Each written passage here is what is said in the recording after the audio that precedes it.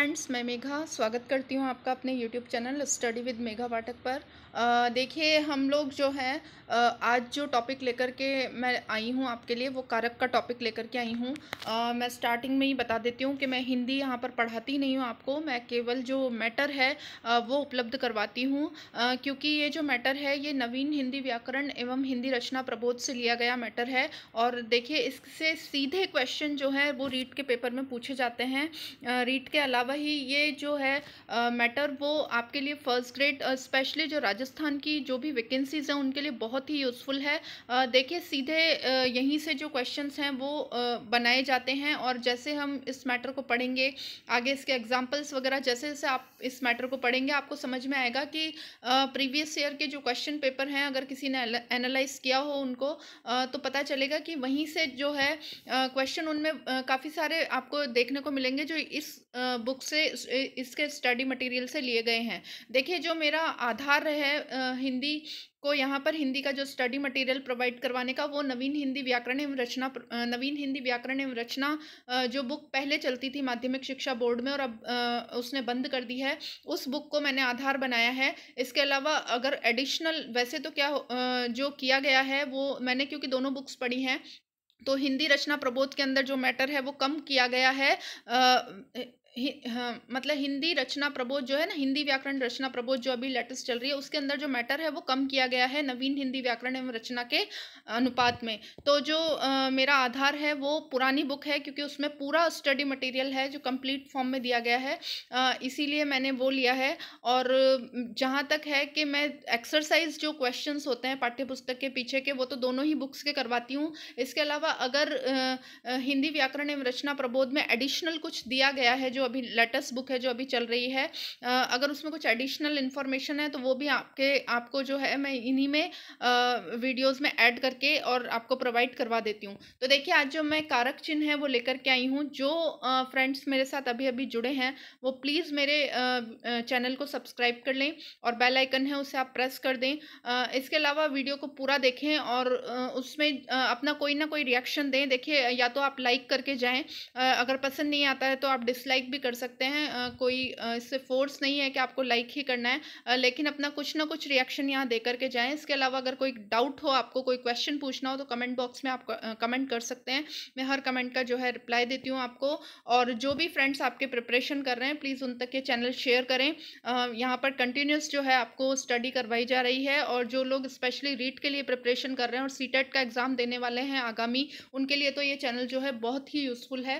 तो देखिए, जो कारक चिन्ह है उसके बारे में इसमें बताया गया है, कारक शब्द का शाब्दिक अर्थ होता है करने वाला, किंतु व्याकरण में पारिभाषिक यह एक पारिभाषिक शब्द है। जब किसी संज्ञा या सर्वनाम पद का संबंध वाक्य में प्रयुक्त अन्य पदों विशेषकर क्रिया के साथ किया जाता है तो उसे ही क्या कहा जाता है? देखिए उसे ही कारक कहा जाता है। तो आ, हम यहाँ पर हमने देख लिया है कि जो कारक जो शब्द हैं देखिए बेसिकली कारक जो है कुछ चिन्ह होते हैं। उन चिन्हों के आधार पर ही हम एक वाक्य देखिए उदाहरण में क्या करेगा वो आपको एक वाक्य दे देगा और उस वाक्य में आ, जो है कारक चिन्ह निकालने के लिए कहेगा। या तो वो उस कारक चिन्ह का नाम दे करके पूछेगा कि इसमें कौन सा वो जैसे कर, कर्ता कारक चिन्ह कर्ता जो है उसके लिए चिन्ह कौन सा है?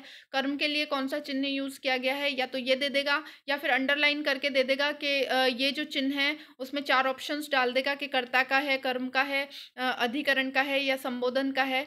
इसमें से इसी तरीके से जो है क्वेश्चंस आते हैं। तो देखिए आगे जो है मैं आपको बता देती हूँ कि जो विभक्ति है, देखिए कारक को प्रकट करने के लिए संज्ञा या सर्वनाम के साथ जो चिन्ह लगाया जाता है, उसे विभक्ति कहते हैं। देखिए, कारक में जो इंपॉर्टेंट रोल होता है ओवरऑल पूरे कारक में जो इंपॉर्टेंट रोल प्ले करता है, वो उसका वो चिन्ह करता है। होता है। मतलब अगर हमको उस चिन्ह का अर्थ पता है, हमको सेंटेंस पढ़ते ही अगर ये समझ में आ रहा है कि कौन से चिन्ह का इसमें प्रयोग किया गया है तो देखिए बहुत आसानी से हम जो है आंसर जो है फाइंड आउट कर सकते हैं और इसमें जो मैटर दिया गया है देखिए वो बहुत ही यूज़फुल है आपके लिए क्योंकि आगे जो क्वेश्चन पेपर आने वाला है, उसके अंदर जो है सीधे यहाँ से डायरेक्टली जो यहाँ के उदाहरण हैं, वो वहाँ पर उठा करके दे दिए जाते हैं। ऐसा कई बार देखा गया इसीलिए जो है मैं आपको इन दोनों बुक्स का जो मैटर है, वो मैं यहाँ पर पढ़ा रही हूँ। मेरा हिंदी पढ़ाने का कोई इरादा नहीं था, लेकिन जो है काफ़ी यूज़फुल मैटर है। देखिए, हिंदी जो है स्कोरिंग होता है।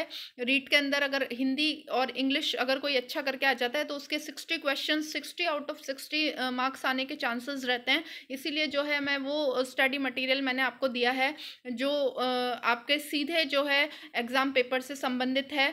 मैं किसी गाइड को फॉलो इसीलिए नहीं करती हूँ, क्योंकि जो एग्ज़ामिनर होता है, वो ऑथेंटिक बुक में से पेपर बनाना पसंद करता है, ना कि कोई एक पर्टिकुलर गाइड या किसी कोचिंग के नोट्स को वो फॉलो करता है। तो देखिए, इसीलिए जो है हम यहाँ पर इस मैटर को पढ़ रहे हैं। तो देखिए, हिंदी जो है, इसमें जो मेन बताया गया है हिंदी में आठ कारक आठ हिंदी में कारक आठ प्रकार के होते हैं। देखिए, जो हिंदी है, उसके अंदर कारक आठ प्रकार के होते हैं। कर्ता, कर्म, करण, संप्रदाय, अपादान, संबंध, अधिकरण, संबोधन और आदि। तो देखिए ये जो है, मैं इसके चिन्ह आपको बता देती हूँ। आपको इसी तरीके से रटने पड़ेंगे। कर्ता ने कर्म को करण से संप्रदान के लिए, अपाधान से पृथक होने के अर्थ में संबंध काके की, रारेरी नानेनी, अधिकरण में पर में पर पे आदि संबोधन, हे अरे हो देखिए, आपको इसी तरीके से रटने पड़ेंगे। इनके जो चिन्ह हैं इनको आपको बिल्कुल टिप्स पर याद रखना पड़ेगा, क्योंकि वहाँ पर जब क्वेश्चन आएगा तो वो चिन्ह नीचे अंडरलाइन करके नाम पूछेगा कौन सा कारक है या फिर जो है वो आपके जो है चार आपके जो है मतलब कारक का जो है नाम दे देगा और उसके अलावा जो है चिन्ह उसके जो चार चिन्ह बता देगा कि कौन सा इससे संबंधित है। तो देखिए इसी तरीके के क्वेश्चन आएँगे। अब देखिए का, कर्ता कारक को हम समझ लेते हैं। देखिए कर्ता ने देखिए ये जो चिन्ह है ये कर्ता को बताता है। वाक्य के अंदर जो भी चीज़ कर्ता को बता रही है, वही जो होता है कर्ता का चिन्ह होता है। देखिए, संज्ञा या सर्वनाम का वह रूप जो क्रिया करने वाले का बोध कराता है और आप सभी को है, क्रिया करने वाला जो होता है, वो कर्ता होता है। अर्थात क्रिया करने वाले को कर्ता कारक कहते हैं। देखिए, मैंने अभी अभी एक्सप्लेन कर दिया है। कर्ता कारक का जो विभक्ति चिन्ह है, वो ने है। ने विभक्ति का प्रयोग ने विभक्ति का प्रयोग कर्ता कारक के साथ केवल भूतकालीन क्रिया के होने पर होता है। देखिए, ये चीज़ आपको अंडरलाइन कर लेनी है, ये चीज़ अच्छी तरीके से देख लेनी है कि जब जो क्रिया है भूतकाल में होगी, केवल वहीं पर ने का प्रयोग होगा। इसके अलावा अगर कोई वर्तमान कालीन क्रिया है या भविष्यकालीन क्रिया है तो उसके अंदर केवल वो कर्ता बता देगा। उसमें कोई चिन्ह यानी कि ने जो है वो नहीं देगा। तो देखिए, ये आगे हम देख लेते हैं एग्ज़ाम्पल दे रखे हैं। जैसे अभिषेक पुस्तक पढ़ता है। अब देखिए, पढ़ता है जो है, वो वर्तमानकालीन क्रिया है। तो अभिषेक ने पुस्तक पढ़ता है, इस तरीके से तो हो नहीं सकता। तो जो कार्य कर रहा है, वो अभिषेक कर रहा है और आपको इस पूरे सेंटेंस से समझ में आ रहा है कि ये जो है ये कर्ता कारक है, क्योंकि यहाँ पर जो क्रिया की जा रही है, वो कर्ता के द्वारा की जा रही है तो वो ऐसे दे सकता है क्वेश्चन कि इसमें से कर्ता कौन है? तो देखिए, कर्ता आपको अभिषेक जो है वो छांटना पड़ेगा, उसमें से गुंजन हस्ती है। अब देखिए, ये भी वर्तमान कालीन क्रिया है, इसमें ने का लोप हो गया है, ने जो विभक्ति है, ने जो चिन्ह है, उसका लोप हो गया है, लेकिन फिर भी जो ये है, कर्ता कारक है, क्योंकि हंसने का काम कौन कर रही है? गुंजन कर रही है। इस तरीके से देखिए, वर्षा गाना गाती है, ये भी जो है वर्तमान कालीन क्रिया है तो वर्षा जो कार्य कर रही है, वो किसका कर रही है? गाना गाने का कार्य कर रही है। अब देखिए आलोक ने पत्र लिखा। देखिए, यानी कि लिखा, भूतकालीन क्रिया हो गई। आलोक जो है, वो पत्र लिख चुका है तो इसीलिए जो है आलोक ने, यहाँ ने का प्रयोग हुआ है और ये जो ने है वो कर्ता कारक चिन्ह है। तो देखिए, ऐसा ज़रूरी नहीं है कि कर्ता कारक चिन्ह लगेगा। अगर कोई भूतकालीन क्रिया है तो ने का प्रयोग करेगा। अन्यथा भविष्यकालीन और वर्तमानकालीन दोनों क्रियाओं के लिए वो क्या करेगा? उन उसमें कोई विभक्ति चिन्ह का प्रयोग नहीं करेगा, केवल सेंटेंस देखते ही हमको समझ में आ जाना चाहिए कि वो किस बारे में पूछ रहा है। और देखिए नेक्स्ट जो है वो कर्म कारक है। देखिए, वाक्य में जो कर्म होता है, वो ऑब्जेक्ट होता है, यानी कि क्रिया का भार जिस पर पड़ता है, क्रिया जिसके लिए की जाती है, वही जो होता है वो कर्म होता है। देखिए, वाक्य में जिस इसका जो कारक चिन्ह है, वो को है। वाक्य में जिस शब्द पर क्रिया का फल पड़ता है, उसे कर्म कहते हैं। कर्म कारक का विभक्ति चिन्ह को है। कर्म कारक शब्द सजीव हो तो उसके साथ को विभक्ति लगती है, निर्जीव कर्म के साथ नहीं लगती। देखिए, ये भी एक बहुत ही इंपॉर्टेंट लाइन है कि अगर सजीव है कारक यदि कर्म कारक जो है वो सजीव है, यदि हमारा ऑब्जेक्ट जो है वो सजीव है तो तो को लगेगा, नहीं तो जो को विभक्ति है, को चिन्ह है, उसका लोप हो जाएगा, वो नहीं लगेगा। जैसे देखिए, राम राम ने रावण को मारा। अब क्योंकि रावण जो है, वो यहाँ पर क्या है, कर्म है, यानी कि ऑब्जेक्ट है, और वो सजीव है, इसलिए को का यूज़ हुआ। अब देखिए, नंदू दूध पीता है, अब नंदू दूध पीता है, अब ये दूध जो है, यहाँ पर कर्म है, जो पीने की क्रिया है, उसका भार किस पर पड़ रहा है? दूध पर पड़ रहा है। दूध जो है ऑब्जेक्ट है, लेकिन वो निर्जीव चीज़ थी इसलिए यहाँ पर ने का लोप हो गया। देखिए, ये इस तरीके से भी हो सकता था। नंदू ने दूध पिया। है ना? नंदू ने दूध पिया, ये भी हो सकता था, लेकिन जो है सेंटेंस जो है, इस तरीके से अच्छा नहीं लगता तो नंदू दूध पीता है।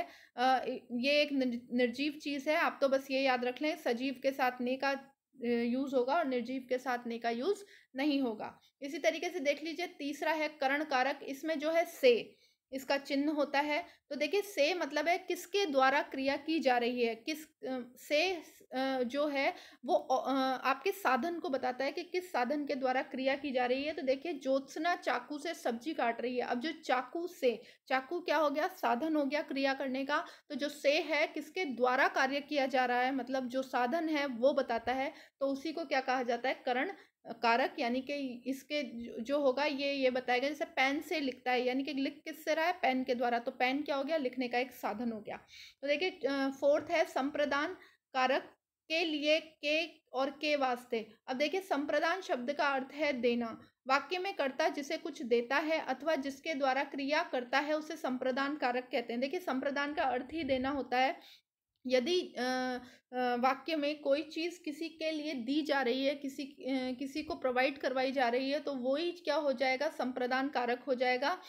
देखिए संप्रदान कारक का विभक्ति चिन्ह के लिए होता है, किंतु जब क्रिया द्विकर्मी हो, यानी कि दो ऑब्जेक्ट हो तथा देने के अर्थ में प्रयुक्त हो तो वहाँ को विभक्ति का को विभक्ति भी प्रयुक्त होती है। देखिए अधिकतर तो जो इसका यूज़ होगा वो आ, के लिए होगा आ, लेकिन अगर डबल ऑब्जेक्ट यानी कि द्विकर्मी हो दो ऑब्जेक्ट आ रहे हो जहाँ पे दो कर्म आ रहे हो तो वहाँ पर जो है को विभक्ति भी आ सकती है। तो इसमें कर्ता ने कर्म को करण से संप्रदान के लिए के लिए के साथ को का भी यूज़ हो सकता है तो को विभक्ति भी आप लिख सकते हैं। लेकिन जो देने के अर्थ में, प्रयोग किसके अर्थ में होगा? देने के अर्थ में, ना कि ऑब्जेक्ट आपको पता है, कर्म में भी को विभक्ति थी, लेकिन वो ऑब्जेक्ट को बता रही थी, यानी कि वो कर्म को बता रही थी कि जो क्रिया है वो किसके लिए हो रही है, उस तरीके का कर्म बताया जा रहा था, लेकिन जो संप्रदान है उसमें को का यूज़ तब होगा, जब किसी को कोई चीज़ दी जा रही है। तो देखिए ये हम देख चुके थे संप्रदान संप्रदान कारक तो देखिए, आलोक माँ के लिए दवाई लाया। अब ये के लिए शब्द देखते ही हमें समझ में आना आ जाना चाहिए कि इसमें संप्रदान कारक है। मीनाक्षी ने कविता को पुस्तक दी। अब ये देखिए पुस्तक और कविता यहाँ पर दो ऑब्जेक्ट हो गए हैं। यहाँ पर जो आ, कर्म हो गए हैं वो दो हो गए हैं। इसीलिए जो है को चिन्ह का यूज़ हुआ है, ना कि के लिए। तो देखिए, ये सेंटेंस इस तरीके से भी हो सकता था, मीनाक्षी ने कविता के लिए पुस्तक दी। ठीक है? लेकिन यहाँ पर जो है सेंटेंस थोड़ा जच नहीं रहा है, इसलिए यहाँ पर को का यूज़ हो गया। तो देने के अर्थ में है तो इसलिए को का यूज़ है। आपको डिफरेंस अच्छी तरीके से याद रखना है। यदि कर्म को बता रहा है तो कर्म कार, यदि को जो है, विभक्ति चिन्ह कर्म को बता रहा है तो जो है कर्म कारक है और यदि वो किस देने के अर्थ में प्रयुक्त हो रहा है को तो फिर जो है विभक्ति चिन्ह संप्रदान हो जाएगा। अब देखिए पांचवा देख लिए अपादान कारक। अपादान कारक में भी से का प्रयोग होता है ठीक है? कर्ता ने कर्म को करण से हमने पढ़ा था करण से करण कारक में जो है से पढ़ा था आ, लेकिन यहाँ पर अपादान में जो होगा वो से का यूज़ किसी चीज़ को अलग करने के लिए होगा। मतलब पहले वहाँ पर तो क्या हो रहा था करण में जो होता साधन बताया जा रहा था से। यानी कि जैसे सीता ने चाकू से सब्ज़ी काटी। तो जो चाकू हो गया, उसके लिए जो से का यूज़ हुआ है, वो साधन के लिए यूज़ हुआ है, लेकिन यहाँ पर जो होगा, से का यूज़ होगा, से पृथक होना। मतलब किसी भी स्थिति से पृथक हो जाने के अर्थ में होगा। देखिए, इसमें उदाहरण हम देख लेते हैं। देखिए, पेड़ से पत्ता गिरता है। तो यहाँ पर इस पूरे सेंटेंस में जो भाव आ रहा है, वो पृथक होने का भाव आ रहा है, या फिर तुलना के अर्थ में भी होता है। देखिए, कविता सविता से अच्छी है। यानी कि जो अपने अपादान कारक है, उसमें से का यूज़ या तो पृथक होने के अर्थ में हो या दो चीज़ों के बीच में तुलना करने के अर्थ में हो तो वहाँ पर जो आएगा वहाँ पर से जो होगा, अपादान कारक के लिए होगा, ना कि करण कारक के लिए। करण जो कारक है, उसमें साधन बताया जाता है और अपादान कारक में जो से होता है, उसमें पृथक होने का अर्थ या फिर दो के बीच में तुलना करना बताया जाता है। तो देखिए, छठा जो हम देख लेते हैं, संबंध कारक ये बहुत ही आसान है, इसमें संबंध बताया जाता है। देखिए, अजय की पुस्तक गुम गई है, अजय की। देखिए, इसमें एक संबंध में जो चिन्ह दिए हुए हैं, वो काके की, रारेरी या नानेनी दिए हुए हैं। तो देखिए, अजय की पुस्तक का संबंध अजय से है तो की चिन्ह का प्रयोग रहा तुम्हारा, अब ये रा जो है यानी कि तुमसे, तुम्हारा चश्मा, चश्मे का संबंध किससे, तुमसे है तो यहाँ रा का यूज़ हो गया अपना कार्य। देखिए, जो कार्य है उसका संबंध आपसे है तो यहाँ ना का यूज़ हो गया, ये विभक्ति चिन्ह है तो देखिए की रा और ना, ये तीनों जो है विभक्ति चिन्ह और इनका संबंध बताया जा रहा है, इसलिए संबंध कारक हो गया। देखिए, इसी तरीके से अधिकरण है, अधिकरण में किसी भी चीज़ में में जैसे कोई चीज़ मे का यूज़ होगा, पर या पे मतलब किसी चीज़ के ऊपर, जो भाव आएगा, वो किसी चीज़ के ऊपर होना पाया जाएगा। देखिए, वाक्य में प्रयुक्त संज्ञा सर्वनाम के जिस रूप में क्रिया के आधार का बोध हो, देखिए, मे ऊपर का मतलब क्या है? किसी चीज़ के आधार के ऊपर। है ना? इस तरीके का भाव आए तो वो अधिकरण कारक होगा, उसे अधिकरण कारक कहते हैं। इसमें जो विभक्ति चिन्ह आएँगे, वो आएँगे मे, पे, पर आदि। तो देखिए, पक्षी आकाश में उड़ रहे हैं। तो आकाश में आधार क्या हो गया? आकाश हो गया और आकाश में उड़ रहे हैं। मेज पर पुस्तक पड़ी है। तो देखिए, पर जो है, उसमें मेज जो है, वो उसका आधार हो गया। तो मेज पर पुस्तक पड़ी है। तो इसी तरीके से जो है, ये अधिकरण कारक में आएगा। मे पर ऊपर यानी कि या फिर पे, देखिए मे पर ऊपर या पे, ये जो शब्द अगर शब्द आ जाएँ तो ये जो बताएँगे वो अधिकरण कारक बताएँगे क्योंकि इसमें जो है ये तीनों ही शब्द किसी चीज़ का आधार बता रहे हैं। अब देखिए लास्ट जो है हमारा संबोधन कारक है, बहुत ही सिंपल है। इसमें हम किसी को पुकारते हैं, जब संज्ञा या सर्वनाम को पुकारा जाता है तो ये चिन्ह आते हैं। इसमें देखिए जो एग्ज़ाम्पल है, देखिए हे प्रभु रक्षा करो। इसमें जो पीछे जो चिन्ह आता है, वो जो होता है, वो अपने विस्मय बोधक जो चिन्ह होता है, वो चिन्ह यहाँ पर लगाया जाता है या फिर कॉमा का यूज़ किया जाता है। देखिए, मेन जो होगा, इसमें पुकारने से संबंधित होगा, जो जो एग्ज़ाम्पल है, उसमें देखिए, हे प्रभु हे प्रभु में पीछे विस्मय बोधक चिन्ह आ रहा है, और आपको पता है कि पुकारने का चिन्ह है। रक्षा करो अरे अरे के पीछे जो है कॉमा आ रहा है। तो देखिए, इसमें जो है ये पुकारने को लेकर के बताया जाएगा इसमें, किसी का संबोधन किया जाता है तो वहीं पर देखिए, हे ओ, अरे, जो है, ये सब जो है आपके संबोधन कारक में आते हैं। अब देखिए, इसमें जो लिख रहा है नीचे लास्ट लाइन विशेष करके कि सर्वनाम में कारक सात होते हैं, इनका संबोधन कारक नहीं होता। देखिए जो सर्वनाम लिख रहा है, ये गलत लिख रहा है यहाँ पर जो है समास आएगा इस जगह, क्योंकि समास में जो तत्पुरुष, जो समास होता है, उसमें कारक चिन्ह होते हैं। कर्ता ने कर्म को करण से संप्रदान के लिए अपादान से पृथक होने के अर्थ में संबंध काके की रारेरी अधिकरण में पर ऊपर आती संबोधन जो है वो वहाँ पर नहीं आता। तो देखिए वहाँ पर सात कारक चिन्ह हैं और उनके हिसाब से ही जो है सर्वनाम ना होकर के यहाँ पर जो आएँगे वो है समास आएगा यहाँ पर शब्द तो जो समास है उसमें कारक सात होते हैं। आ, मैंने आपको समास पढ़ा दिया है उसके अंदर जो जिन्होंने वीडियो नहीं देखे हैं जाकर के देखें। आ, उसमें आपको पता चल जाएगा इसका संबोधन कारक नहीं होता है। तो देखिए ये अंडरलाइन करके बताया है यहाँ पर जो सर्वनाम है ये गलत छपा हुआ है मिसप्रिंट हो गया होगा। यहाँ पर जो आएगा सर्वनाम की जगह वो समास आएगा। तो देखिए आज मैं आपके लिए कारक लेकर के आई थी। आ, इसके बाद जो हमारा इसमें टॉपिक बच जाएगा वो काल बच जाएगा देखिए। और काल के बाद जो है हम आ, जो है आ, काल के बाद इसके जो है टॉपिक हमारे रिलेटेड जो टॉपिक हैं, वो ख़त्म हो जाएँगे और इसमें अभ्यास पुस्तिका यानी कि दोनों अभ्यास पुस्तिकाओं के नवीन हिंदी व्याकरण एवं रचना नवीन हिंदी व्याकरण एवं रचना और इसके अलावा हिंदी व्याकरण एवं रचना प्रबोध, इन दोनों पुस्तकों के जो अभ्यास प्रश्न हैं पीछे के, वो सारे हम सॉल्व करेंगे और लेकर के मैं अब जो आगे वीडियो आऊँगी हिंदी में आपके लिए वो लेकर के काल का आऊँगी। तो मिलते हैं नेक्स्ट वीडियो में। अगर वीडियो पसंद आया तो प्लीज़ लाइक करके जाएँ। धन्यवाद।